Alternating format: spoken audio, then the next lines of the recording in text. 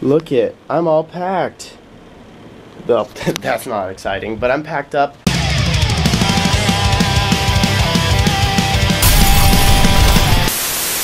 Um, for nationals, those are all the clothes I'm taking with me.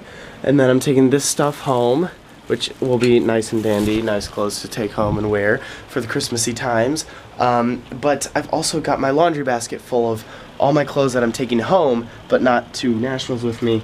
Um, I've got that in my car, and currently I'm gonna go get my car and go get the van that I'm supposed to drive to nationals, and then leave my car in the parking lot, and then I'm gonna fill up the van with all the other stuff that I still need to pack up, and then take the van back to my car, put all the stuff in my car, and then I'm gonna return all my books from classes because I've got left as a final and a website. Um, so I need to study and finish that website before Wednesday. Um, and then what else do we got? I gotta put all my food um, for Mi Familia in the car. Um, it's not supposed to get hot, so hopefully, like the cereal bars and the Kit Kats don't melt. There's a lot of Kit Kats, but there's also a lot of normal food in there, guys. You guys think it's all candy, but it ain't all candy. Um, what else we got going on? Uh, I need to. I'll probably just leave these here because I don't need to use them at home. Um, but I'll take this and this speaker. This speaker needs to come with me. I'm just trying to get organized on camera. Me turning on the camera makes me get organized, guys. I'm sorry, but that's just how the cookie crumbles.